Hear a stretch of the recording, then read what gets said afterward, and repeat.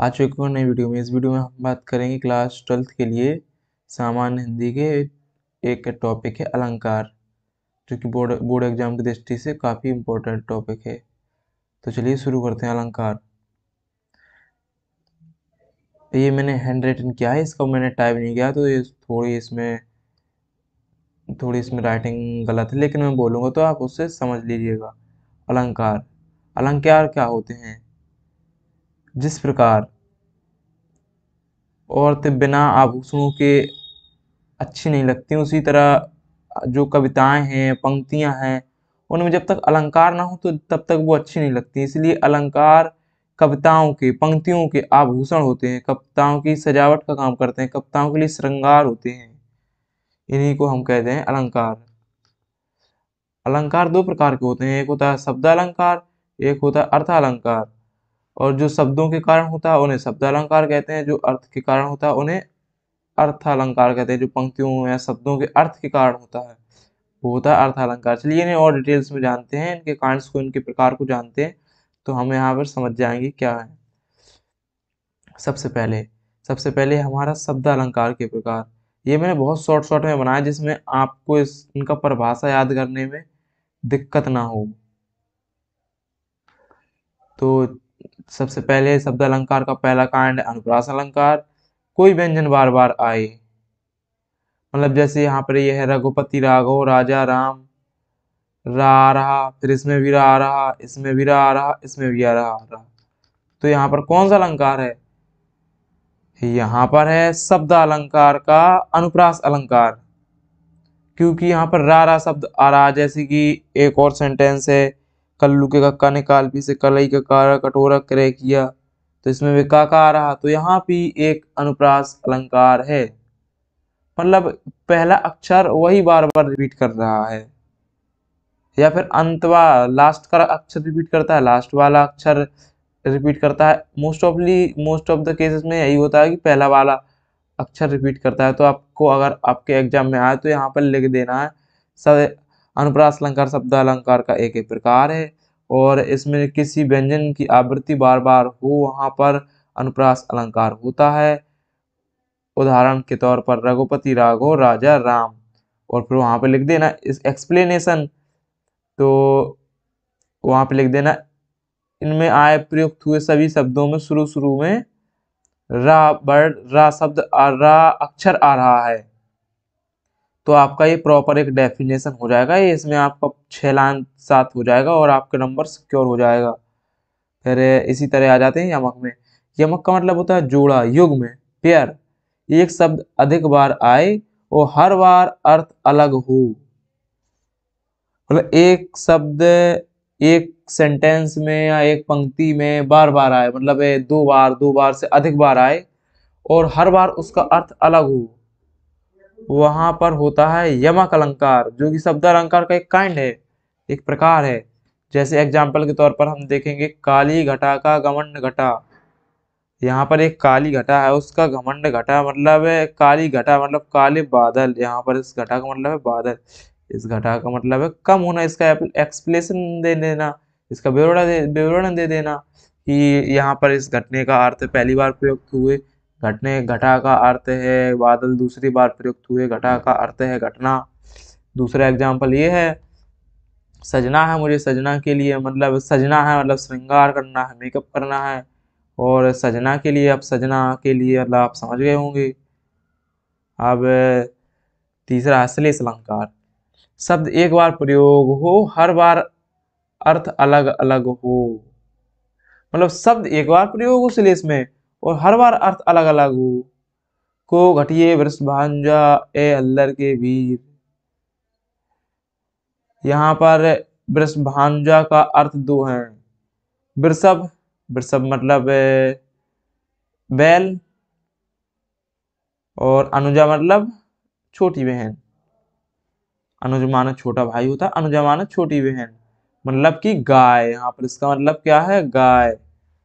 और यहाँ पर वृषभानुजा का दूसरा मतलब क्या है कि वृषभानु वृषभानु की पुत्री वृषभानुजा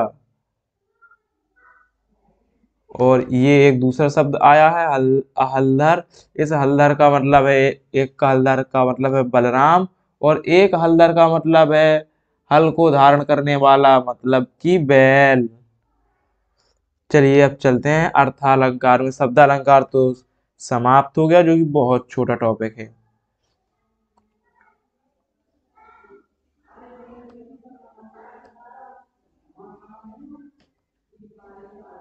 चलिए, अर्थालंकार में हम आ चुके हैं। अर्थालंकार।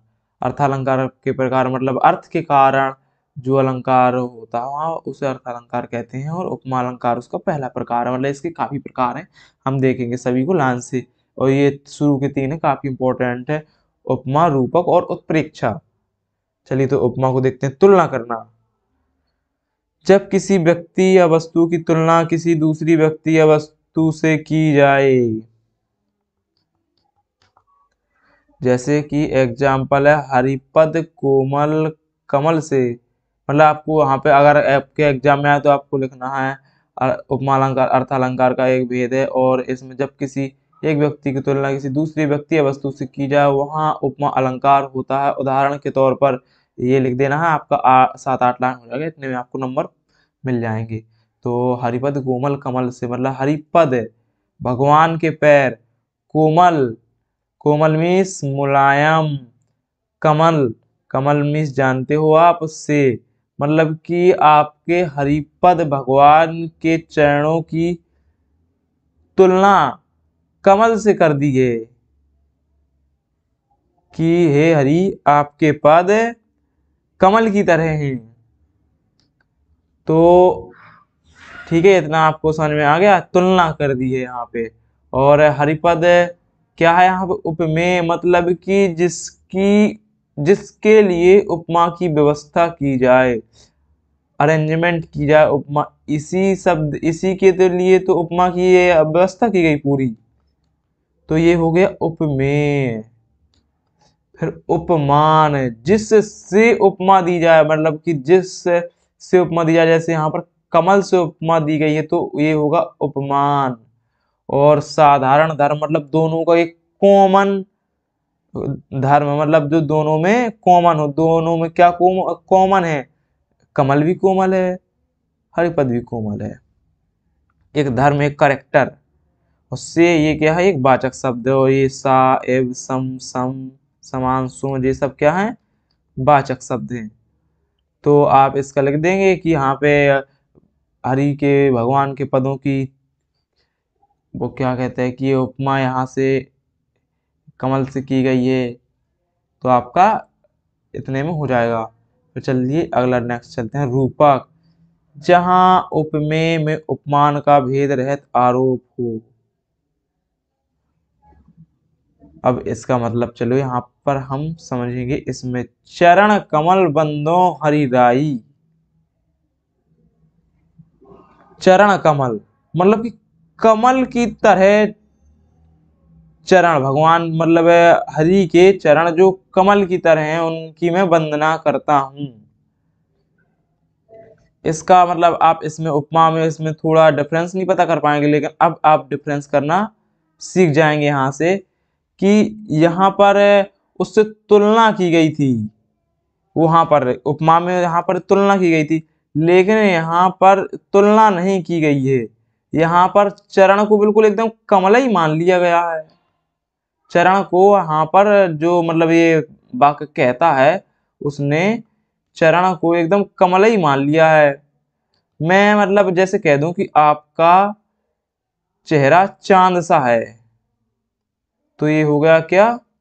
उपमा अलंकार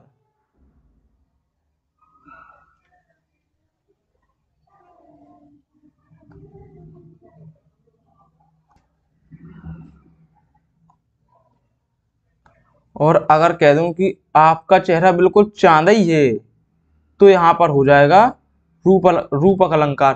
मतलब चरण कमल, एकदम चरण की तरह कमल। मतलब चम चरण ही कमल है। और इसका एक उदाहरण, उदित उदयगिरी मंच पर रघुवर वाल पतंग विशेषण सरोज सब हर्षे लोचन भ्रंग। जहाँ पर धनुष भंग हो रहा था, वहाँ पर उस मंच को उदित उदयगिरी मान लिया गया है। उदयगिरी मान लिया है। और रघुबर को यहाँ पर बाल पतंग मान लिया गया है मतलब छोटा सूर्य।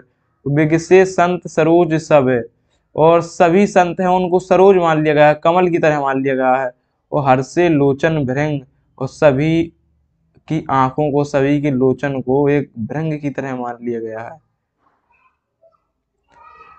ये है धनुष भंग का, धनुष भंग का सीन का है ये। चलिए नेक्स्ट पर चलते हैं।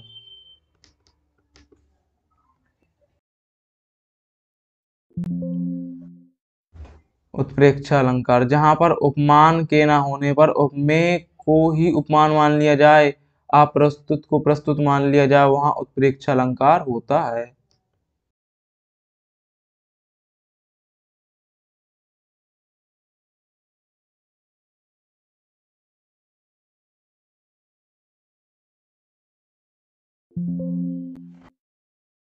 ओढ़े पीत पटु श्याम सलोने गात, मनहु नीलमणि शैल पर आतप पर प्रभात। सोहत ओढ़े पीत पटु। सोहत मतलब कि सोहत ओढ़े पीत पटु मतलब कि श्री कृष्ण जी, एक पीला कपड़ा पहने हुए पीताम्बर पहरे पहरे हुए हैं, श्याम सलोने गात, मनहु नीलमणि शैल पर। और ऐसे लग रहे हैं मानो कि नीलमणि शैल, एक नीलमणि पर्वत है, वहाँ पर सुबह सुबह का पहला प्रकाश गिर रहा है वो इतने अच्छे चमक रहे हैं।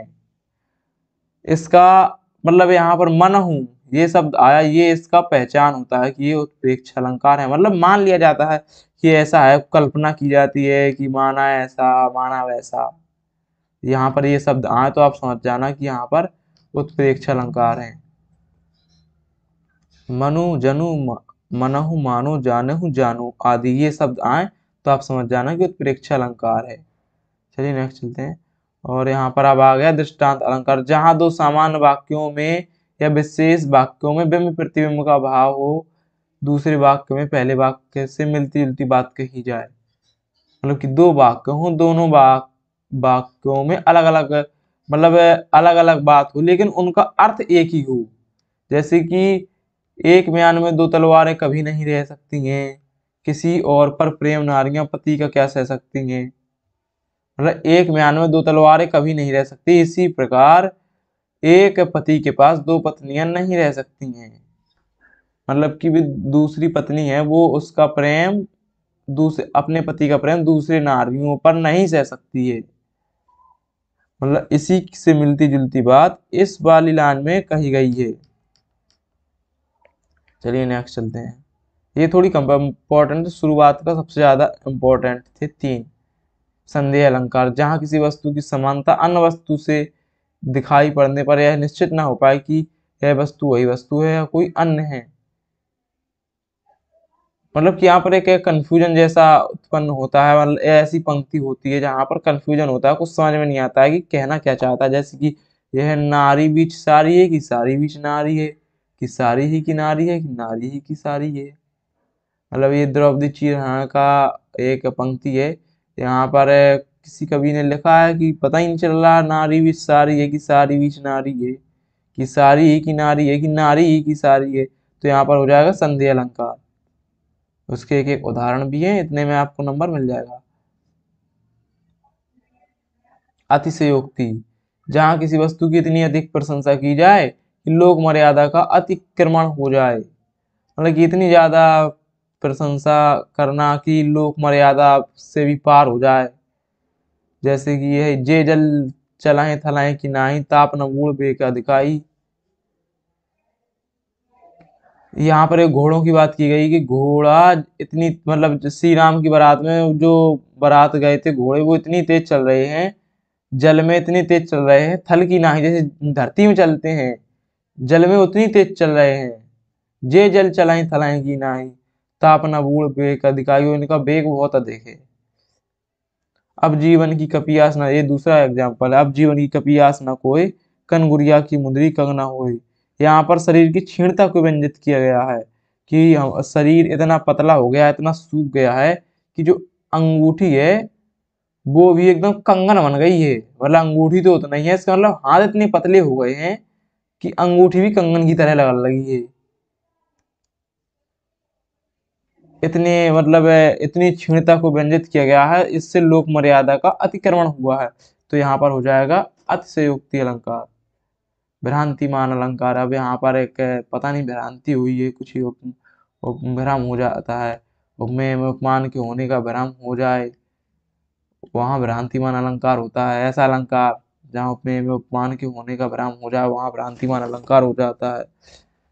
इसका एग्ज़ाम्पल है बिल विचारे प्रवसन लाग्यो, सुंड में व्याल। तालुकारी ईख भ्रम लियो उठा ताल बिल विचार प्रवसन लागू। मतलब बिल समझ के प्रवसन मतलब घुसने लगा। लगे सुंड में व्याल मतलब हाथी के सुंड में सांप। सांप ने सोचा कि ये बिल है, मैं इसमें घुस जाऊँ और तालुकारी ऊख ऊख भ्रम लियो उठा ताल वो हाथी ने भी सोचा कि ये काला करना है, मैं भी इसको एकदम झटीक लूँ, खींच लूँ। तो उसने भी उसे उठा लिया, खींच लिया। तो यहाँ पर ये समाप्त होता है। एक और है, शायद एक अन्य अलंकार है इतना इम्पोर्टेंट नहीं है, नहीं आते इसमें शुरू के तीन सबसे ज़्यादा इम्पोर्टेंट है। शुरू के तीन है, वो कौन सा है? ये तो शायद नहीं आते ट्वेल्थ में सबसे ज़्यादा आता है उपमा अलंकार, रूपक अलंकार रूपक अलंकार आता है, और आता है ये उत्प्रेक्ष अलंकार। तो आपको इन तीनों को अच्छी तरह से पढ़ना है। बस। तो चलिए वीडियो को अंत